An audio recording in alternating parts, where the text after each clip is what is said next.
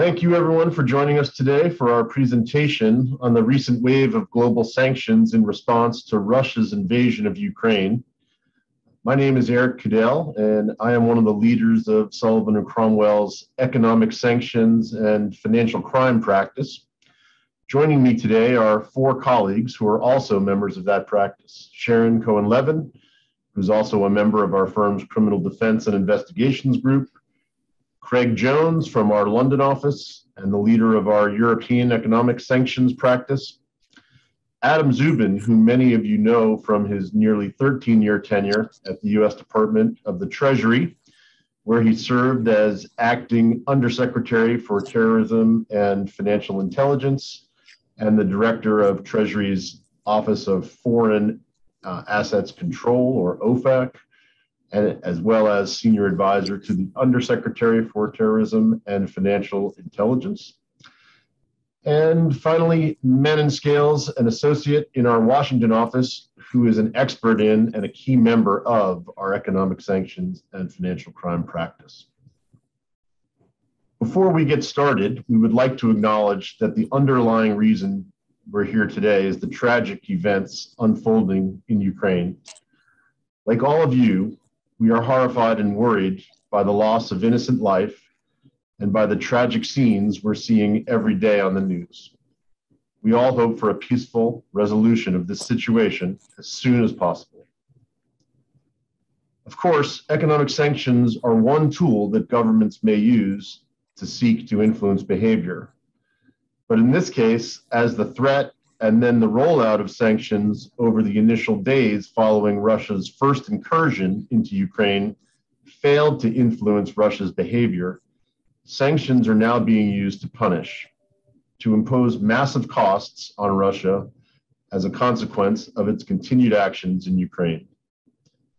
The volume of sanctions has been enormous.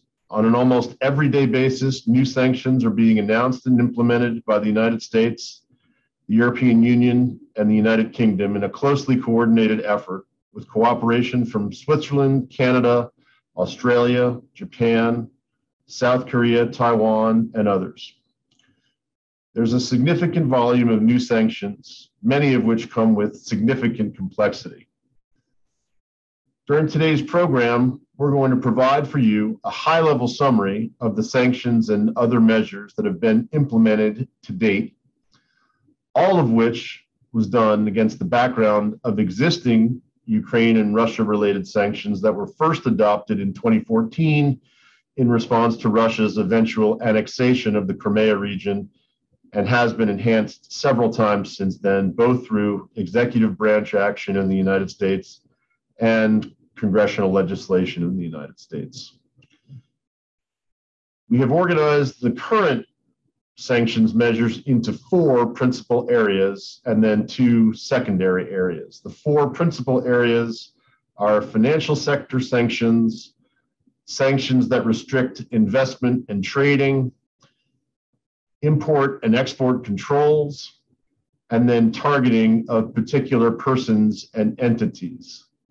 The two secondary areas or sanctions are airspace restrictions and then sanctions specifically targeting Belarus for its cooperation and support of the Russian effort. After we, review those areas, we will talk about what's next, and our focus will be on three principal topics. First, expected enforcement of these new measures as we go forward. Second, what sanctions are left to implement and what might we see over the coming days weeks, and months. Finally, with a focus on the US in particular, what are the prospects for a robust secondary sanctions campaign? And what are the prospects for Congress seeking to add legislative solutions to the mix? So we have a lot to cover today. But before we get into the details of all of these sanctions and areas announced and implemented to date, I'd like to turn it over to Adam Szubin, and ask him to share his perspective on this effort. Adam? Thanks very much, Eric. It's a pleasure to be with you all today. Uh, as Eric said, these have been dramatic events. And I can say personally, having now been in the sanctions field for 20 years, I have never seen a sanctions campaign like this. So let me just share two opening observations. One is the objectives of this campaign changed very quickly. On Thursday, the 26th of February, as Russia invaded Ukraine, we saw the long awaited rollout of an allied sanctions effort. And Western capitals had been talking about this publicly and telegraphing privately to Russia that there would be very serious sanctions. Those sanctions included, I would say, powerful export controls as well as targeting of some of Russia's largest banks. But I descri- would describe the purpose of those sanctions as to change Putin's behavior. And so there were a number of major sanctions that were withheld as a means to reshape his thinking, to say there's a lot of pain that could be coming your way, but we're holding it in reserve. That was Thursday. And by that weekend, what we saw was um, accelerating to really the ultimate stages of a sanctions campaign. Sanctioning the head of state, Vladimir Putin, and his foreign minister, pulling Russian banks that were targeted off of SWIFT and sanctioning the central bank, which for finance ministries is typically something that's viewed as sacred, almost like the way embassies are viewed by foreign ministries. But we went there and we went there with allies with breathtaking speed.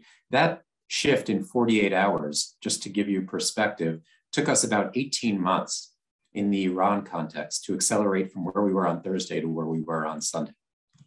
As Eric says, I think the objectives now are really to decimate the Russian economy, to make it harder for Russia to prosecute its war effort, to perhaps uh, increase domestic pressure on Putin through elites or through uh, the population taking to the streets in protest. And then finally, to send a deterrent message to any other power, potentially including China, that would dare to follow in Russia's path that's what I see as the objectives right now. And by all accounts, the, the impacts on Russia's currency uh, and financial sector have been as powerful as we were expecting.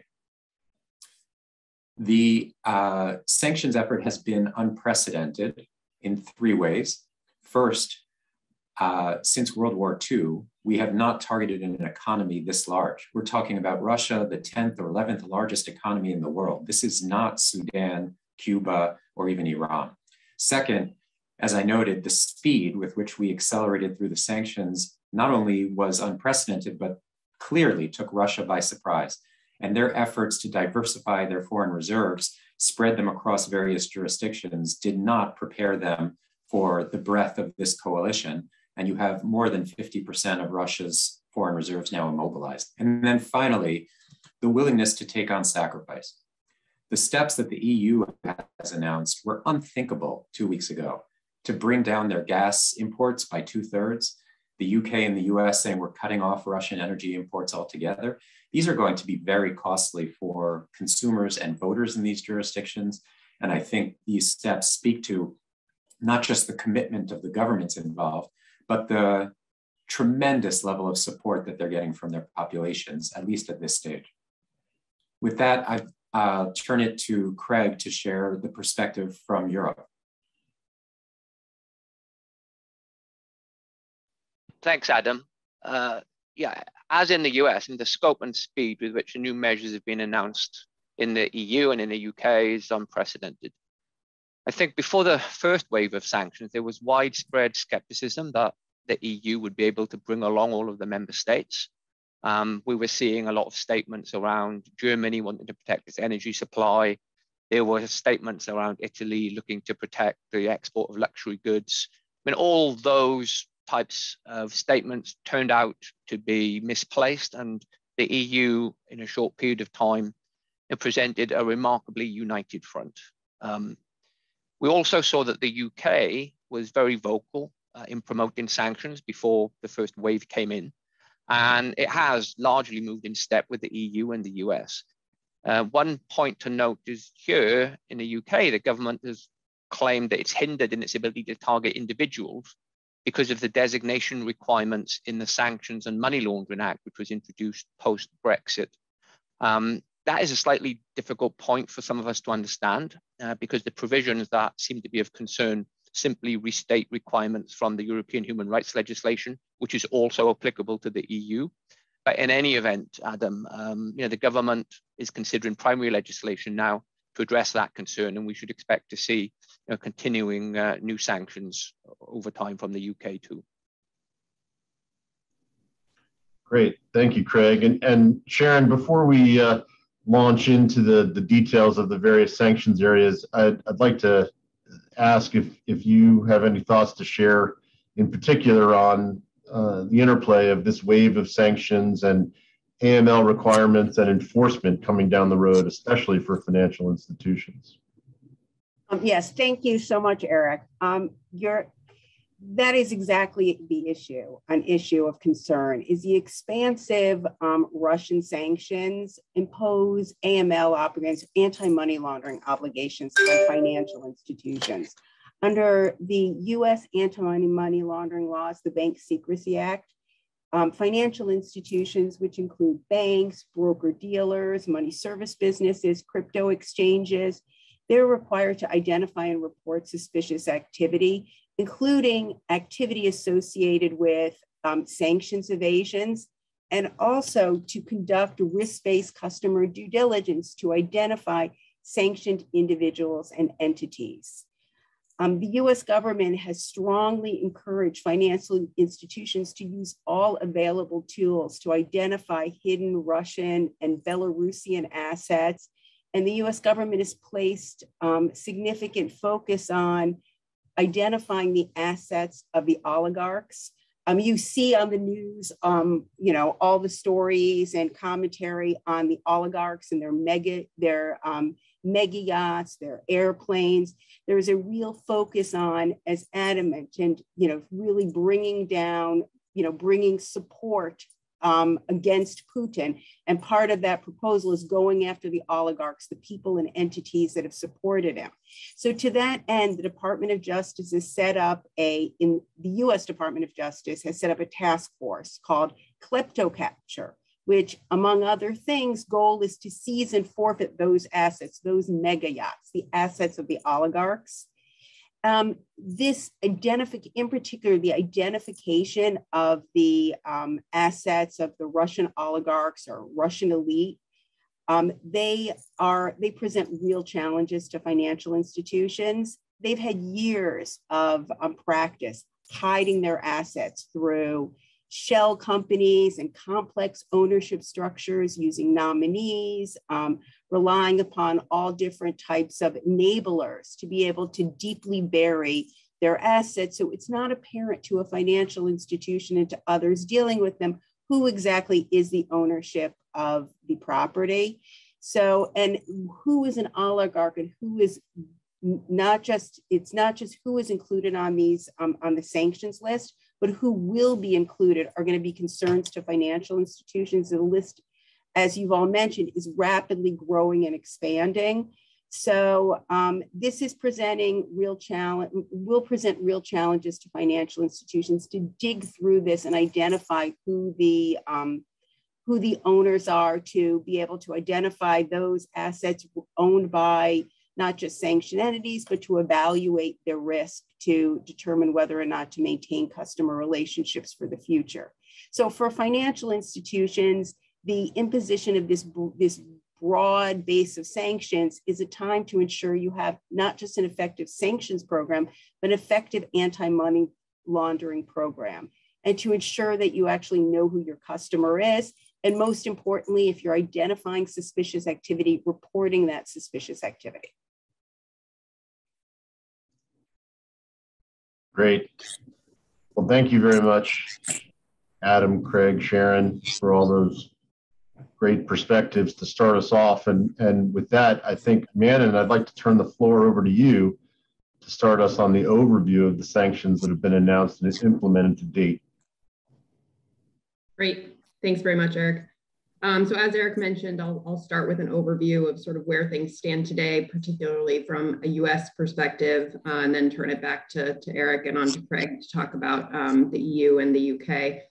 So as, as Eric noted, and just to briefly set the stage, uh, this, this recent flurry of, of sanctions comes against the backdrop of, of, sanctions that have been in place in both the US and, and Europe since Russia's annexation of Crimea in, in 2014. Uh, and those sanctions took the form of broad prohibition with respect to transactions involving Crimea, blocking property of certain senior Russian government officials and oligarchs, prohibiting US persons from engaging in various transactions to finance certain persons operating in various sectors of the Russian economy, uh, and prohibiting US persons from participating in the primary market for Russian sovereign debt. Uh, these latest sanctions are, of course, a, a, significant expansion of the existing Russian sanctions regime. So one of the, the first actions that President Biden took, which was in response to Putin's decision to recognize the so-called Donetsk People's Republic and Luhansk People's Republic uh, as independent states, was to issue new Executive Order 14065, which broadly prohibits transactions in or involving those two regions, much as the sanctions adopted in 2014 with respect to Crimea, the Crimea region did. Um, pursuant to a, a, simultaneously issued general license, parties do have until 12.01 uh, a.m. On, on March 23rd to wind down existing transactions in those regions. And since the issuance of that first executive order 14065, the bulk of the action has really taken place under the authority of an existing executive order 14024, which is the executive order targeting certain specified harmful foreign activities of the Russian government. So I'll start with the sanctions imposed on the Russian banking and financial sector. As most are likely aware, over the course of the past couple weeks, OFAC has designated a number of Russian financial institutions, including VEB, Russia's Economic Development Bank, PSB, the state-owned bank that primarily finances Russia's defense industry, Novikombank, which operates in the defense sector and is owned by the Russian defense company Rostec, VTB Bank, which is the second largest financial institution in Russia, and Otkritie and Sovcombank, the seventh and ninth largest financial institutions in Russia. So of course, for these designated financial institutions, their property and interest in property that are subject to US jurisdiction are, are blocked and US persons are prohibited from dealing with them. OFAC did issue some wind down general license licenses covering most of these designated financial institutions. So US persons have about a month from the date of designation to wind down existing transactions with these institutions. Uh, general licenses 9A and 10A also provide a three month authorization for, for US persons to, um, to divest to non-US persons debt or equity of these institutions that was issued before the date of their designations, and also to wind down pre-existing derivatives contracts uh, to which one of the designated institutions is a party or that are linked to the debt or equity of these designated institutions. And finally, OFAC also issued a general license uh, permitting transactions until June 24th that involve one of the designated financial institutions and that are related to energy. Uh, and finally, just to note that the two banks that operate in the defense sector, PSB and Novikombank, are not covered by any of these uh, general licenses. Uh, in addition to the designations under Executive Order 14024, OFAC has taken some other actions in the banking and financial sector that aren't quite designations, but, but ultimately do end up with a similar effect. Uh, with respect to Sberbank, Russia's largest financial institution, OFAC issued Directive 2 under Executive Order 14024, which prohibits US financial institutions from opening or maintaining a correspondent account or payable through account for Sberbank, and also prohibits them from processing any transactions involving Sberbank. Sberbank is covered by the general licenses that I mentioned earlier. So general license 10A that permits the wind down of pre-existing derivatives contracts to which it's a party or that are linked to its debtor equity, and also the general license 8A that permits transactions that are related to energy uh, through to June 24th. Uh, similarly, with respect to the Russian Central Bank, the National Wealth Fund, and the Russian Ministry of Finance, OFAC issued a Directive 4 under Executive Order 14024, which prohibits US persons from engaging in any transactions involving those entities. The Russian Central Bank is covered by the General License 8A that, that permits transactions related to energy. And all three of the parties are covered under uh, General License 10A, permitting the wind down of, of pre-existing derivatives contracts, uh, repurchase agreements, and reverse repurchase agreements entered into with those parties. Uh, also, OFAC also issued several other general licenses um, permitting transactions involving the central bank, the National Wealth Fund, and the Ministry of Finance in cases where the, the party's sole function is just to act as an operator of a clearing or settlement system. Um, and also a general license permitting US persons to pay fees and purchase and receive permits, licenses, registrations from those parties to the extent uh, ordinarily incident and necessary to, to the person's day-to-day operations in Russia. So that's a, a quick and, and high level overview. I'll, I'll, turn it back to Eric and I think on to Craig to discuss the EU and UK uh, financial sector sanctions. Thanks, Manon. Uh, let me jump in on the EU and the UK. Uh, the scope and, and the way that um, the sanctions work is similar. I won't go through every one of them um, quite the way Manon did because we, we, just won't have enough time. I think one, one thing to note is that from an EU perspective, the way that it tends to work is that within the regulation itself, you will find that there is a sort of equivalent of a wind down type period uh, which the EU calls a derogation, that will be embedded in the regulation itself rather than through separate licensing, whereas the UK um, has adopted a general license approach, and we've seen general licenses coming out of the UK covering some of the activities that we'll talk about. Um, frankly, the UK doesn't seem quite as together yet. OFSI um, general licenses have been corrected, there have been mistakes in them. Um, sometimes they, they're not issued at the same time as the um, underlying restriction. So we've got a little bit of a way to go to get to the same level of um, professionalism that uh, we see in the US, but uh, you know the principles are the same. So in terms of what financial sector sanctions do we see in the EU and the UK, the main one is the asset freeze, um, which can be applied to both individuals and companies.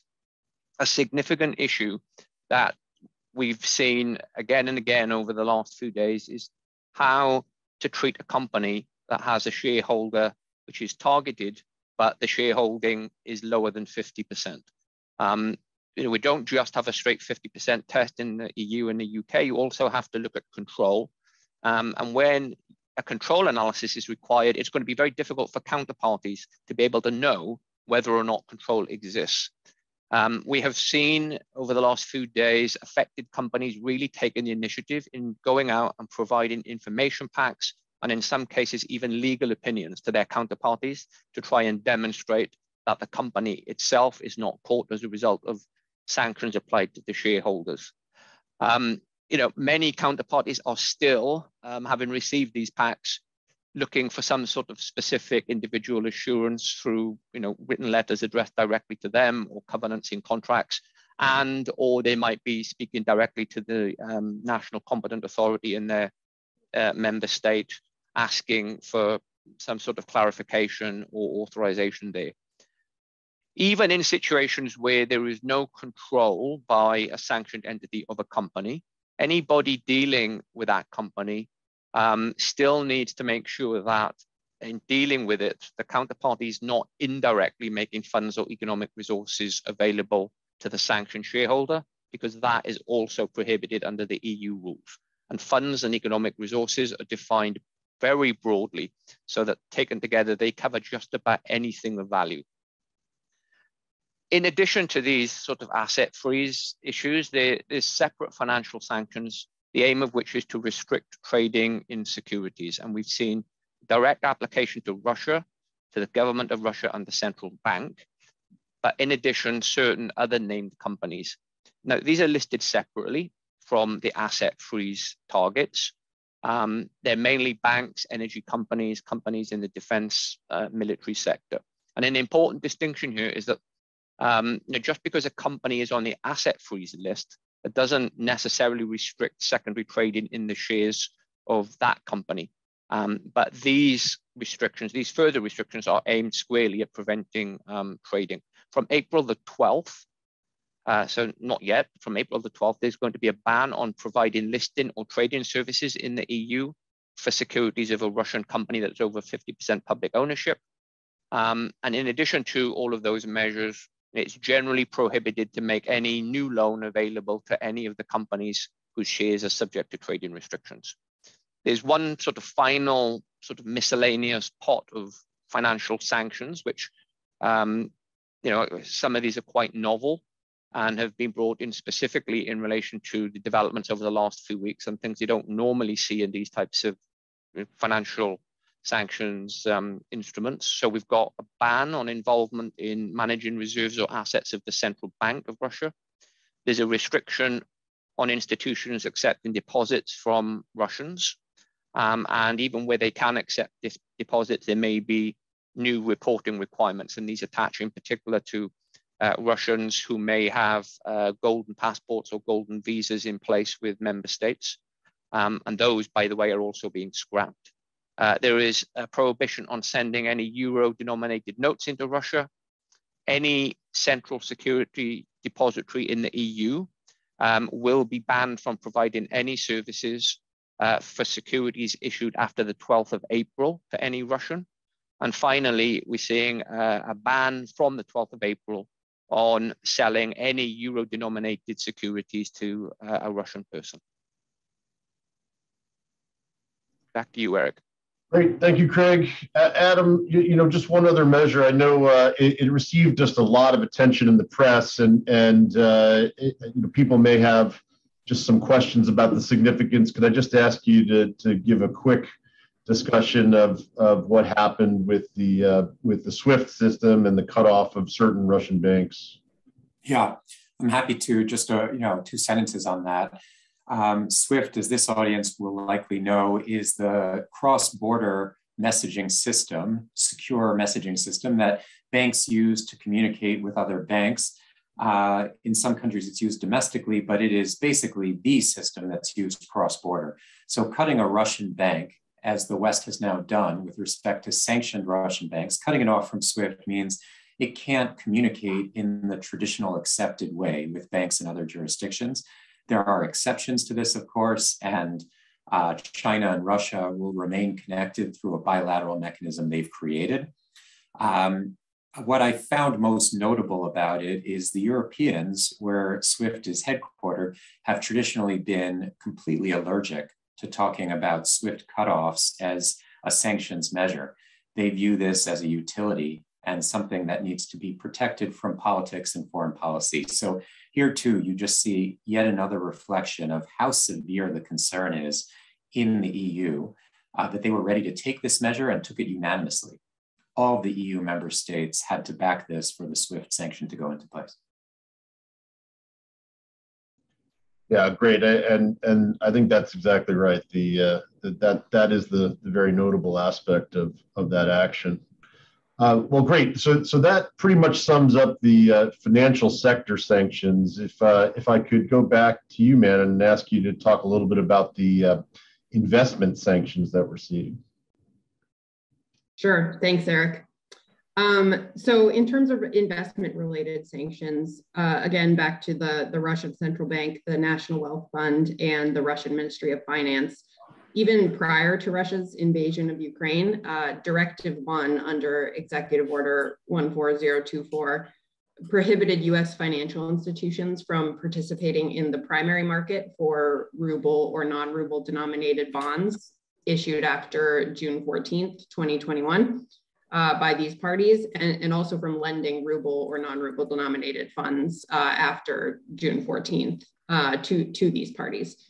In connection with, with this latest round of sanctions, OFAC amended Directive 1, now Directive 1A, uh, to further prohibit US financial institutions from participating in the secondary market uh, for ruble or non-ruble denominated bonds, in this case issued after March 1st, uh, 2022 by, by any of these parties. Uh, direct and of course, Directive 4's subsequent prohibition on, on engaging in any transactions involving these entities generally subsumes the restrictions on, on lending and participating in the primary bond market, um, but would also generally prohibit the receipt of interest payments or dividends on, on debt or equity, uh, including bonds issued prior to March 1st that US financial institutions may have acquired in the secondary market.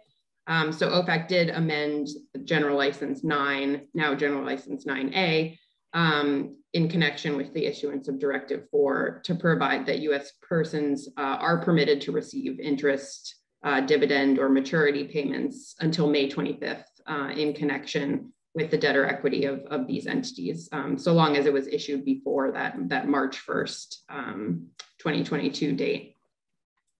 OFAC also issued uh, Directive 3 under Executive Order 14024, which prohibits US persons or persons in the United States from, from dealing in debt of longer than 14 days maturity and new equity in each case issued on or after March 26th uh, by certain identified Russian entities.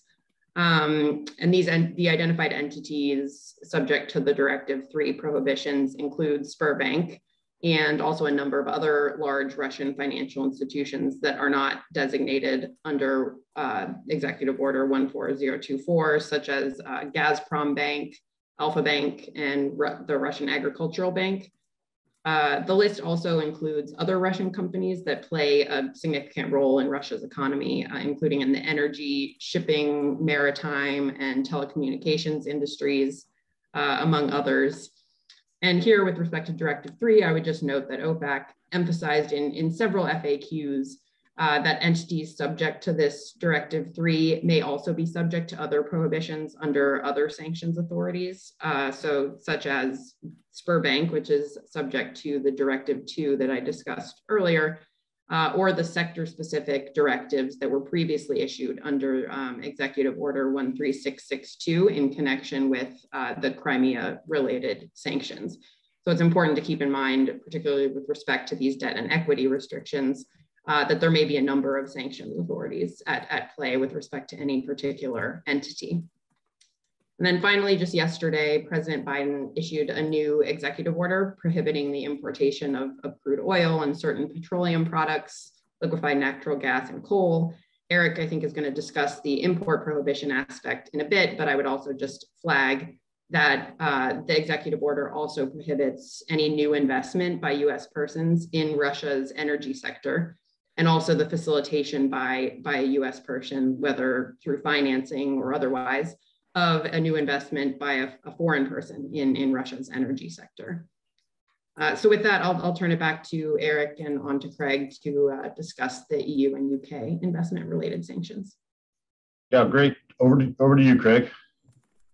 Thanks, Eric. So specifically in relation to um, you know, investment sanctions, in addition to the points I already discussed around um, you know, securities and, and sanctions on uh, trading in Europe.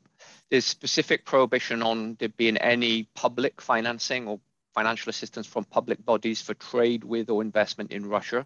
There are some exceptions to that for smaller projects, but um, it's pretty broad. In addition, there's a prohibition on involvement in projects which are co-financed by the Russian Direct Investment Fund. So nobody can get involved as a you know, co-financier there. And uh, the trade restrictions that we'll, we'll discuss next also are generally coupled with a ban on providing any financing or financial assistance in connection with that trade. So let's let's move on to the the next bucket, which is the import-export trade restrictions. Um, in the EU, there has been a significant expansion here, both in terms of the scope of goods and technology that are now covered, but also um, the sort of geographical scope. So for example, where previously it might have been prohibited to provide certain goods or technology for use in Crimea and Sevastopol, um, restrictions now are generally couched in terms of any export of items to or for use in Russia. Um, you know, these export restrictions are also usually coupled with an associated restriction on providing any sort of technical assistance, brokering, or other services, in addition to the um, targeting of financing and financial assistance that I, I just mentioned. The restricted goods uh, now range well beyond the traditional sectors of military goods, dual use goods, and as we saw specifically for Russia previously, you know, items which were uh, used for oil and gas exploration or, or refining. The latest UK list, for example, and it's, it's more or less identical to the equivalent EU list, includes uh, as restricted goods and technologies, uh, electronics, computers, uh, telecommunications equipment, navigation and avionics equipment, and extends as far as you know, individual vessels and aircraft. So we've now moved well beyond where we were two weeks ago. Now, uh, do you want to talk about the equivalent restrictions in the US, Eric? Yes, thank you, Craig. Um, let me let me do that. Uh, I'll start with the import restrictions and and hot off the press, just announced yesterday afternoon. Uh, yesterday's announcement that the U.S. will ban completely the importation into the United States of of the following energy products of the Russian Federation uh, or Russian Federation origin, I should say crude oil, petroleum, petroleum fuels, oils, and products of their distillation, LNG, coal, and coal products, all subject to a wind down period authorized by general license that ends on April 22. This really is a major step, and it's in response to significant public pressure to act, in addition to clear congressional signaling that Congress intended to pass legislation that would do the same thing. So in in in many ways, the White House getting out ahead of Congress and keeping control of the issue uh, in its own uh, set of of executive branch actions.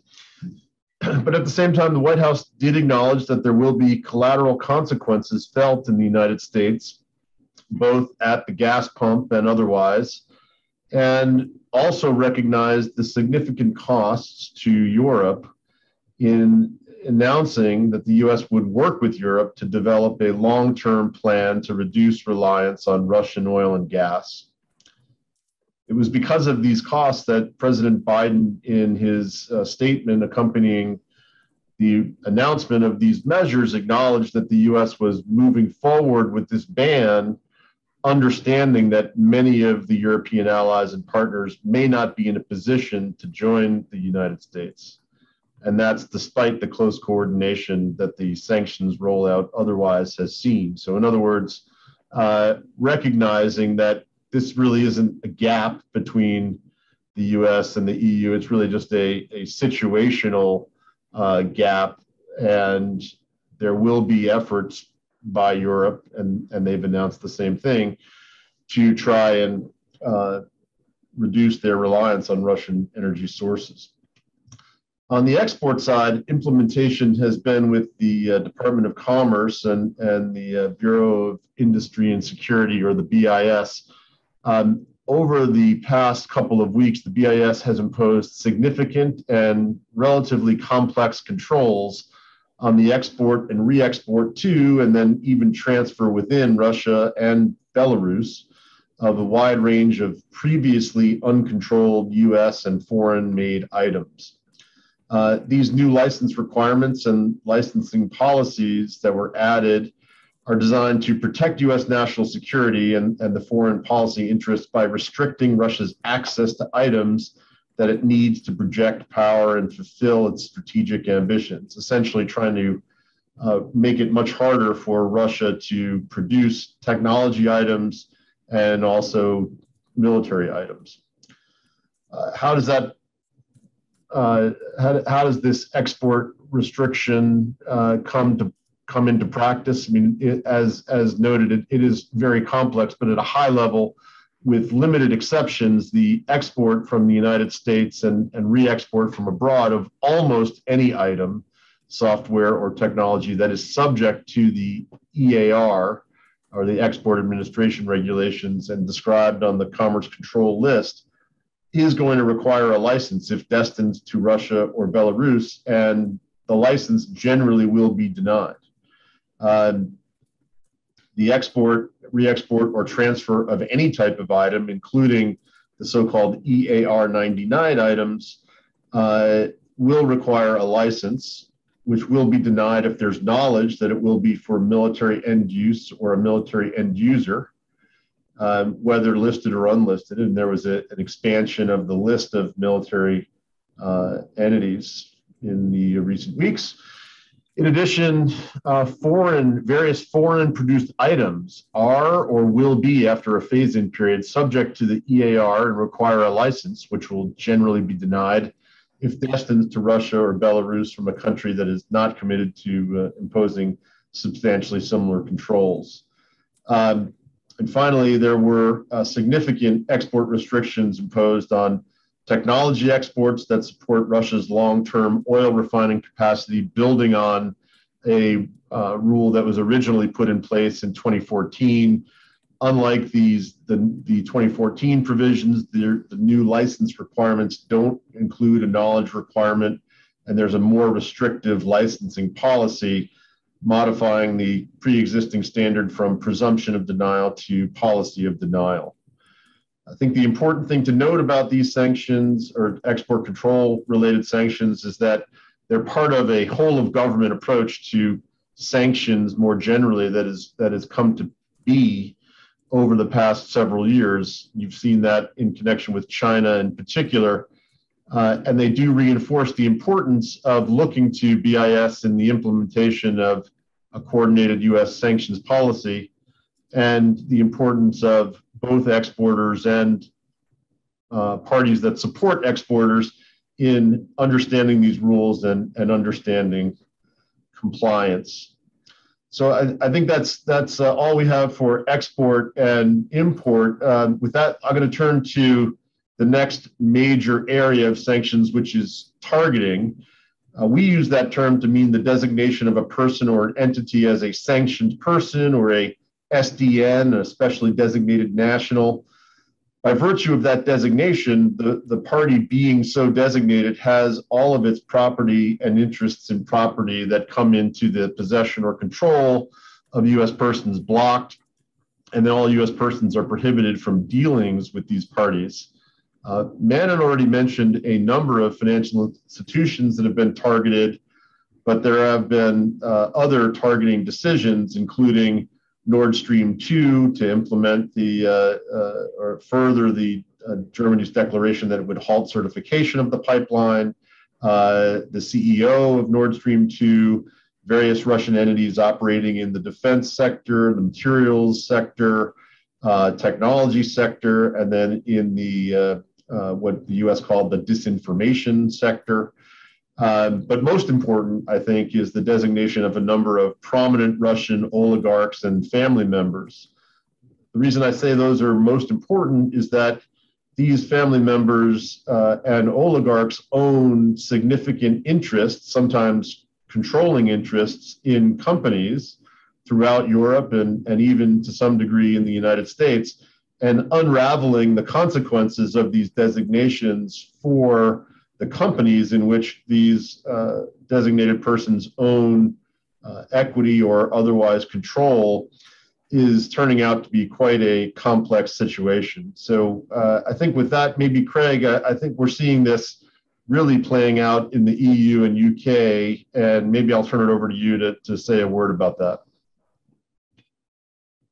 Yeah, thanks, Eric. And uh, yeah, I mentioned sort of uh, half an hour ago, so that um, we are seeing this is a particular problem for companies where a shareholder is sanctioned, but that shareholder doesn't have 50%. You know, that's certainly a real issue uh, for a lot of European and UK companies at the minute. I think more generally, the scope of the targeting in the EU in particular has been breathtaking, where they sort of designated the entire membership of the Russian Duma, entire membership of uh, Russia's National Security Council, as well as you know, uh, Putin and Lavrov themselves.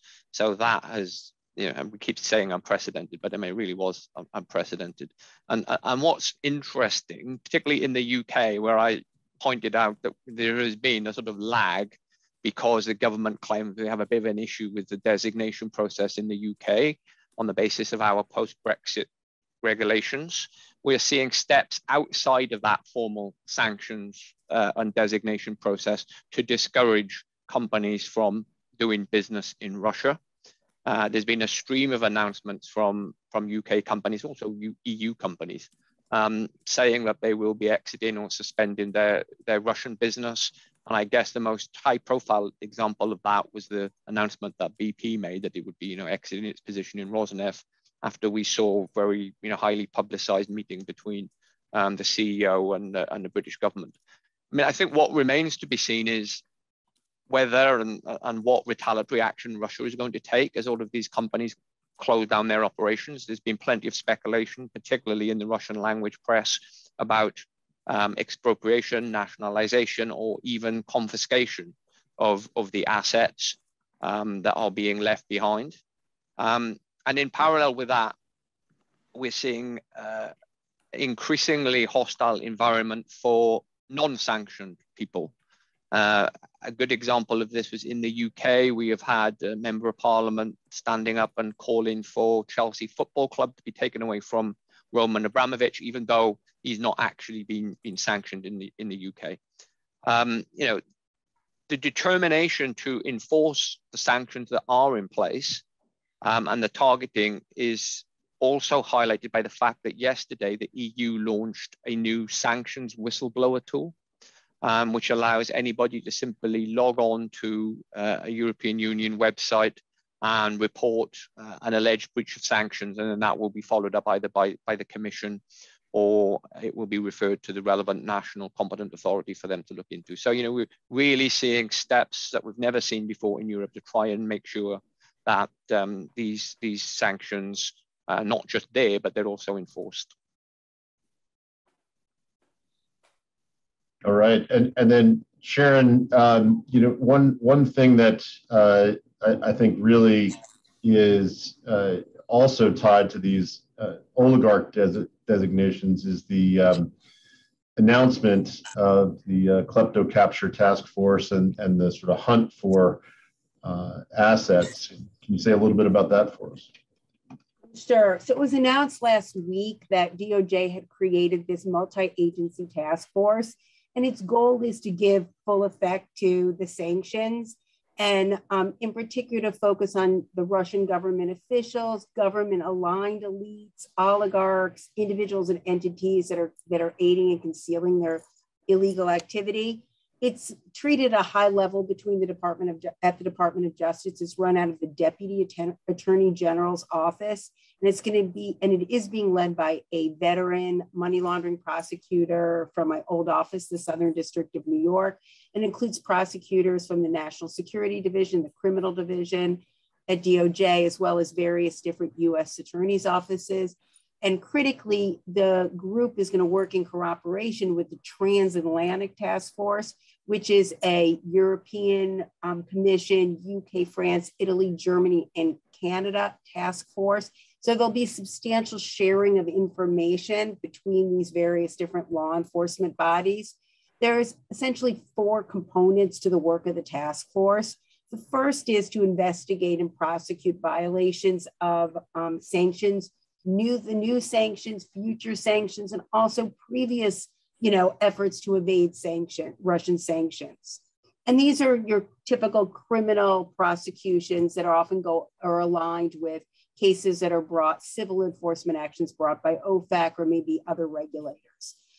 One of the other areas of focus is that they're going to be looking at combating the um, unlawful efforts to undermine restrictions taken against Russian financial institutions, including those who try and invade KYC and AML measures. So this means that the task force is actually going to be scrutinizing compliance with the US anti-money laundering requirements and efforts to aid oligarchs and others in thwarting those restrictions. So this is this is something that um, financial institutions should pay attention to their compliance with AML obligations are going to be something that, excuse me, can be the subject of the task force's investigation. How banks identify sanctioned parties, their nominees, associates, and in particular, um, suspicious activity reporting. For a group like the task force, the SARs that are filed are going to be critical to the identification of individuals that are involved in sanctions violations, identifying assets, etc. And um, it's especially important for institutions with customers in jurisdictions where oligarchs have, are known to bank, for example, Switzerland and Israel, to be attention, pay attention to this and look to understanding their, um, their customer base. DOJ notes that they're going to use their full, array, um, full array of their legal authorities to investigate and prosecute those um, those who aid sanctioned parties in, um, in having access to the US financial system. So this is sort of a warning call that significant AML failures or sanction failures can be criminal cases. And then the other two sort of points of their mission are, or efforts are to target the use of cryptocurrency to evade sanctions or launder the proceeds of corruption. And here, um, just yesterday, um, FinCEN came out with a um, alert and included in that alert was speaking about the, the concern about the use of cryptocurrency to evade sanctions, which includes specific red flags. So those institutions that have touch points with cryptocurrency should really focus on that. There is a warning there, as well as the concern about Russia's use of ransomware and um, to you know, target institutions in the US. And then finally, the one that seems to be getting a lot of attention is the use of civil and criminal asset forfeiture. So while sanctions have provisions to block the assets of um, sanctioned parties, they're blocked. They don't, they stay there and um, they remain there in perpetuity. Forfeiture is a little different. Under forfeiture, criminal forfeiture is part of a criminal prosecution, but civil forfeiture is a separate action against the property and it's a civil proceeding. And at the end, the US government, if they win, they take title to the property and can do things with the property. So it's clear that, um, that DOJ, part of their mission is to use that civil forfeiture in conjunction with those sanctions to take away that property from oligarchs. And that you, those suspicious activity reports, et cetera, that will be filed by financial institutions are going to be critical to help DOJ to be able to identify those assets. Great. Well, look, we've covered a lot of ground over the past uh, 50 minutes or so. And as we approach the end of our hour, I'd just like to talk about a couple of additional topics that will be critical for financial institutions and global industry as we move forward. And those are enforcement, what's next in sanctions, and then particularly with respect to US law, the prospect for secondary sanctions and congressional involvement through new legislation on the secondary sanctions question, there that was uh, already addressed in the in the chat questions, so you may take a look at that. But Sharon, can you just start us off with your expectations on enforcement and and maybe a word, brief word about the FinCEN advisory we saw uh, earlier this week? I'm sure. So, as I just mentioned previously, I think there are really going to be heightened focus on um, compliance with the Bank Secrecy Act and anti money laundering requirements there's an expectation right now that financial institutions, banks, broker dealers, and really others are reviewing their customers, looking at who they are, assuring that they know who their customer is and they understand those customer relationships and what their business is, and that they're alert to any kind of suspicious activity that's going on. FinCEN came out with an advisory yesterday that includes, and I encourage financial institutions, as I'm sure they do, look at those red flags, but they include red flags which could be indicative of suspicious activity identifying um, you know, potential sanctions investigation. So it's going to be important that, um, that financial institutions heed those warnings, look at those uh, at their connections with crypto companies and be alert to that because what happens is if you know, not immediately, but, you know, subsequently, if there are failures and if there are misses, and frankly, there will be misses. The, um, the Russian oligarchs have had 20 years to be able to, you know, perfect their ability to hide their assets. They're not going to, they're not easy to find, and it's going to be challenging for financial institutions. But what's important is that the, um, you have a strong and effective anti-money laundering program, that you have proper governance around your whole processes, and that, um, that in, and looking at that in that light.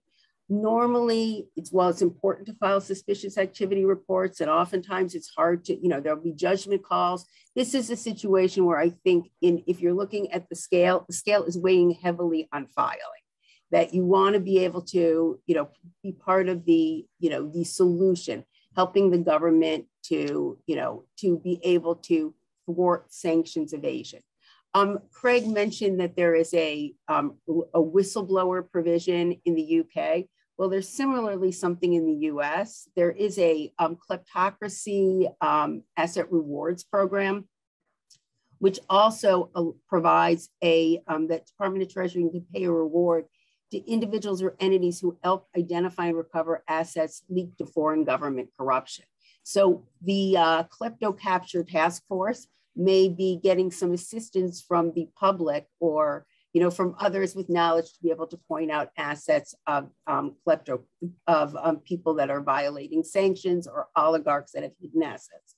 But I think it's going to be a hot, you know, a white hot AML enforcement environment. Great. All right, and then Adam, I think uh, we'll turn to you for the sort of the last word on uh, on sort of where we go from here. Um, in terms of both sanctions and, and potentially secondary sanctions? Sure. So, you know, I would just jump off of Sharon's last point, which is the coming oligarch asset hunt. I was at Treasury when we were deploying the first round of oligarch sanctions in 2014 and 2015. And I will be candid, we had limited success in piercing the corporate veils that Sharon is talking about and finding these assets hidden within shell companies and trusts. I think this effort is going to be much more successful, both because of the rewards that are being offered, because you have more jurisdictions, including Switzerland, cooperating with the sanctions effort this time, and because I think the level of government resources from the law enforcement, treasury, intelligence community is just unprecedented. So uh, I think this will look qualitatively different. In terms of what's coming for additional sanctions, I'm expecting additional Russian banks to be targeted. I don't think it's wrong to be expecting the end game in, in the near term to be a comprehensive cordon on the Russian economy and banking sector, similar to what we have on Iran or North Korea. I think likewise, we're likely to see reductions in the permissible credit and financing maturity terms, currently at 14 days in the US. I expect that to go to zero. Um, we haven't yet seen the sanctions announced on various Russian critical sectors metals, mining, aviation, shipping, industrial equipment, technology, and software. Of course, the sanctions have already impacted those in various ways, but this is sort of a standard part of a comprehensive sanctions program, and I think that will be built out. And uh, finally, the secondary sanctions that Eric referred to. This isn't something that the US executive branch traditionally favors. Of course, these types of sanctions go down very poorly internationally with other countries. But Congress has turned to secondary sanctions again and again in the last 10 years. And if they're looking for a way to uh, add materially to what the Biden administration has done, there aren't that many places they can go because the Biden administration has covered so much ground, has been so aggressive in such a short amount of time. And so I think we do have to keep an eye out for secondary sanctions, despite the immediate tensions those would produce with India, with China in terms of their energy imports and in terms of their banking system. Great. Thank you very much, Adam. And thank you to all of our attendees. We had uh, just a, a, really great uh, amount of participants, and we appreciate all of your interest. We do hope that you learned something, that you enjoyed your hour, and that you will reach out to us if there's anything that Sullivan and Cromwell can help you with in respect of these matters. But goodbye for now, and thanks again.